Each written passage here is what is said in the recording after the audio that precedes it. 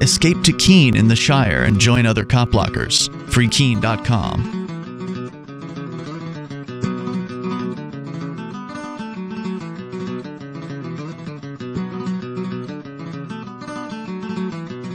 What are we doing here? I, I've asked her if there was a rule that stated that I had to sit down in there. She couldn't give me a rule or regulation. There uh, apparently is no rule or regulation. And I would like your name and badge number. Did she ask me to sit down? Yes, she did ask me to sit down, and I asked her if there was a rule that required me to do that. She couldn't state it. So she did mention about the fire marshal, but what rule or regulation? Do what? And your comment to that was what? I don't know. Ask these people in here. What? Are, I want your I want your name and badge numbers, every single one of you, because I didn't do anything wrong. Nobody said you did. So Okay. We're still allowed to speak to you. Oh, I understand that, but I have no statements to make at this time.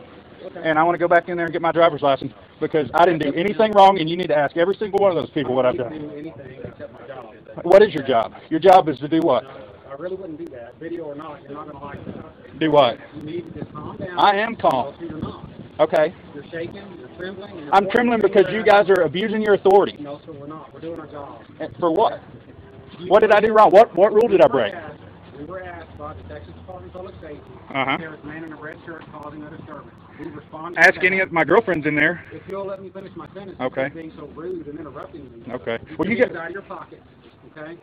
You're not intimidating me by. I'm I'm not trying to intimidate you. Well, You're not intimidating me either. You're just making me. Then why are you why are you shaking? Why are you But, because this is amazing that this lady can come in here and get me thrown out of here after I've waited an hour. the big production. No, you're the guy. You got. Uh, do you need four of you? Do you need four of you? And what rule did I break? I don't know. I didn't break. I, quit worrying about talking about talking to other people and answering my questions. Maybe we should. well, I don't have any statements to make this time. I don't have to answer your your questions. Okay, then you can leave Well, I don't. For what? because this is a government building. Uh-huh. Okay, and at this point you're being uncooperative. Okay. Do I have to be And you're co- what do you- how am I being uncooperative? See, this is the third time you've interrupted me now. Okay. I mean, you just keep on. Okay. There's really no point in that. Okay. Well, just let me go back I mean, why in. Not? No, I'm not going to just let you do anything. Why? Okay, you can come back another time when you're calm and when you're not. I'm shaking. calm right now. I'm calm right now. Look at my hand. I'm not. This isn't. This isn't going to happen. Okay, you need to go ahead and leave and cool off. And then you For what? I didn't do anything wrong. Ask these people in here if I've done anything wrong. I don't need to ask anybody. Why? anything. Why? All I need to Well, you don't need any evidence. You're just you can just come in and tell. Why don't you tell the rest of these people to leave? Again, I'm going to tell you one more time. And Or what? I'm not breaking any laws. I'm on public property. You're creating a disturbance and you're impeding a government operation. Let me let me finish. Let me finish. Okay. I'm going Mhm. to ask you one more time. Go ahead and leave. Go somewhere and cool off. And take a break. You can come back later. If you're not going to cooperate and you wish to stand here and continue to cause this disturbance and impede this legal government operation, How am I,